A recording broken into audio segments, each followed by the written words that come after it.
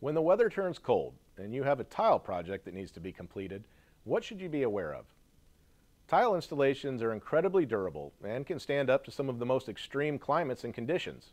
But when temperatures are falling, you need to consider a few different factors for a successful installation. Be sure to consider both the ambient temperature as well as the temperature of the substrate. Once temperatures drop below 50 degrees Fahrenheit, the curing process of setting materials in grouts starts to slow down.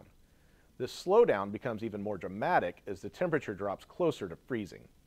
This is true for both cementitious and reactive materials. And it's why 50 degrees is the minimum temperature for installations unless otherwise stated on the datasheet.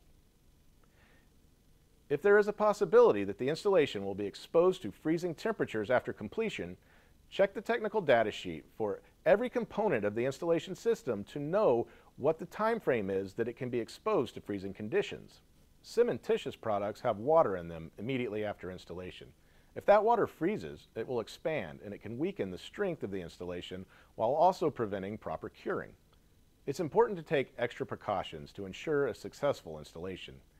Be aware of the forecasted temperatures and make plans to create suitable, consistent conditions for the installation and the curing of the project.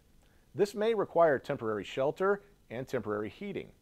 You need to be certain to vent the exhaust fumes if the heating element is burning fossil fuels. So, while it is possible to install tile once temperatures begin to drop, you will need to plan to be sure of success. For more information on selecting the right products for your project, please call us at 800-992-6273 or visit our website.